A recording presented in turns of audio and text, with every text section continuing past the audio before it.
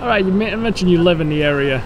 I do. I live right down the road. Yeah, we heard that shots were fired by police, uh, perhaps an exchange of gunfire between police and a car that they stopped. How do you feel about that? I mean, the police had to do what they had to do. I mean, I hope nobody was harmed, but I mean, it's whatever they had to do, right? How often you notice uh, shootings or police shootings in a neighborhood? I mean, I've never noticed shootings here personally.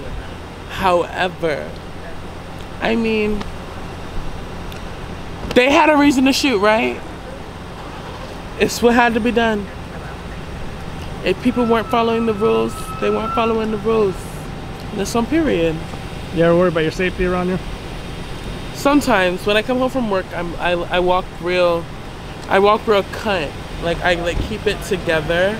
Like I'm like, and I walk just like that, and I have to keep it real demure because if you're not demure, then what are you? Thank you so much. Do you want to give your name? Julian. Period. Can you spell it? J U L I A N P E R I O D T. You can follow me on all platforms. I am a New York City queer rapper. Follow me on everything, and you won't be disappointed. And what's your social? At at the J U L I A N P E R I O D T at the Julian period.